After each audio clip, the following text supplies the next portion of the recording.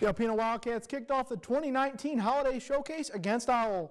We're picking things up in the second. The game is tied at one when Stefan Fonte is there for the goal. Howell has the first lead of the night at two to one.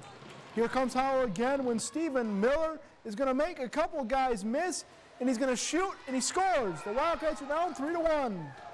The puck is going to end up behind the net when Howell is going to throw the puck to the blue line and Ryan Moorhan takes a shot and he gets it past the goalie for the goal. 4-1 game.